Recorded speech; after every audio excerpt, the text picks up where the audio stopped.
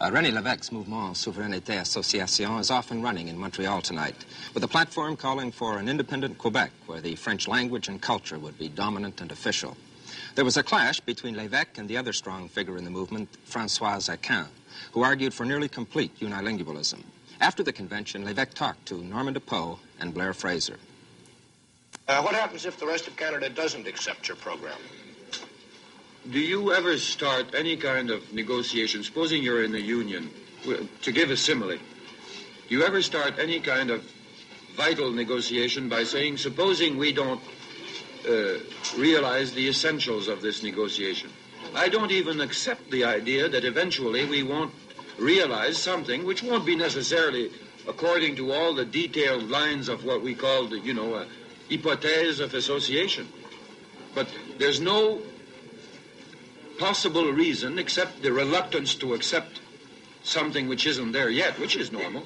There's no possible reason, either on the map or in reality, that we cannot be good neighbors with the kinds of links between Quebec and the rest of Canada, which we call an association. You, you want to call it something else, call it something else.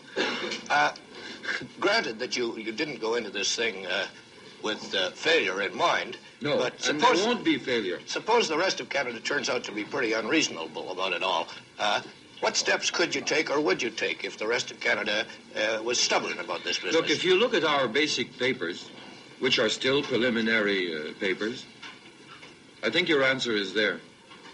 Supposing, which I exclude, but supposing for argument's sake, since you insist, Norm, that uh, it isn't possible, what, what we say, I think, uh, in a nutshell, is this in those papers.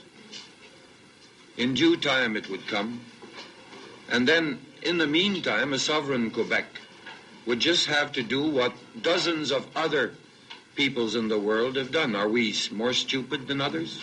In other words, set out on our own. Uh, well, again, I, am sorry to keep at this, Rennie, but uh, you're sure would you fight? Har- harping on it. Well, would you? Uh, let's put it this way. Let's get right down to the real cases. There's a novel out on this very subject. Would you fight if you had to? Would you what? Fight. You mean fight with arms? Yes. Would the rest of Canada yes. fight to keep Quebec in? I don't know. Against its own will? I know it won't. Because I think the rest of Canada, first of all, has no illusions on that score, and second, is civilized.